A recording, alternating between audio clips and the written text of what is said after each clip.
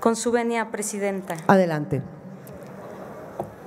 Día de la no discriminación. Esta conmemoración nos llama a luchar contra las injusticias que polarizan a nuestra sociedad. En nuestra nación, la diversidad es nuestra principal fortaleza y sin embargo es también la razón por la cual muchos enfrentan dolor, miedo, abuso, tristeza y sufrimiento.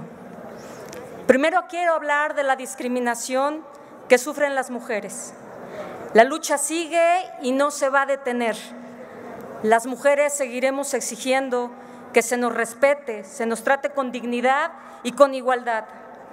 La violencia de género es una constante en México que nos sigue maltratando, limitando, silenciando, atacando cruelmente todos los días. Hoy, la comunidad LGBTQ, resiliente y valiente, sigue enfrentando violencia y exclusión.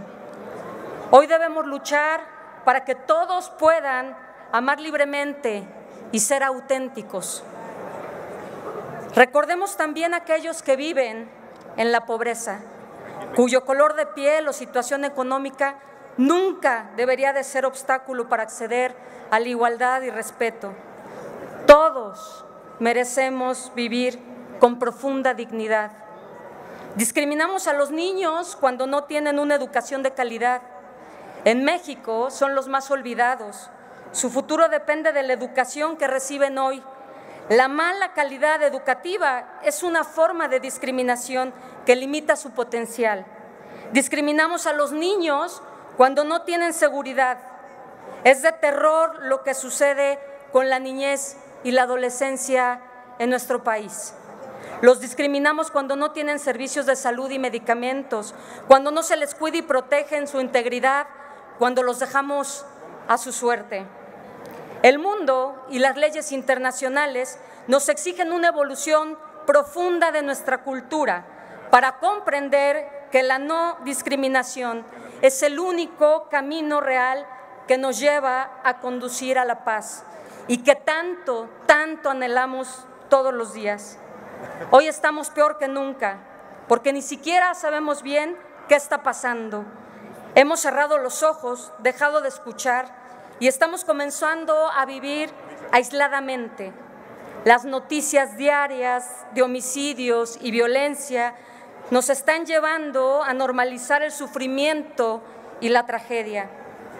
En México se mata porque se puede, se discrimina porque se puede discriminar, se abusa y se violenta porque se puede.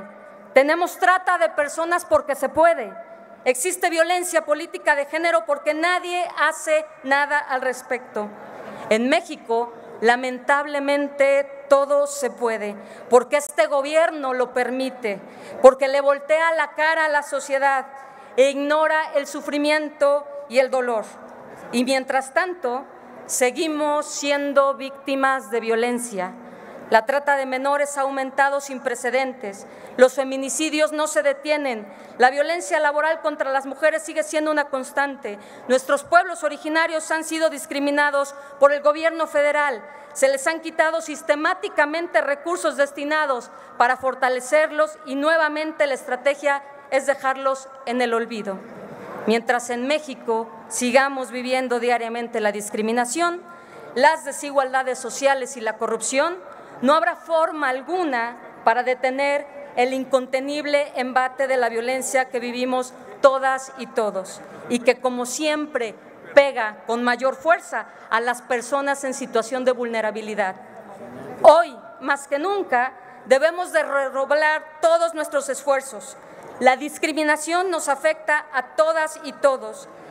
Es nuestro principal enemigo, de donde surge la destrucción del tejido social que afecta a todo nuestro entorno. Hoy los invito a trabajar para construir un país donde la discriminación no tenga lugar. Basta de violencia. Luchemos por un México inclusivo, sin discriminación. Recordemos que la paz no es el destino, es el camino. Es cuanto, Presidenta. Gracias.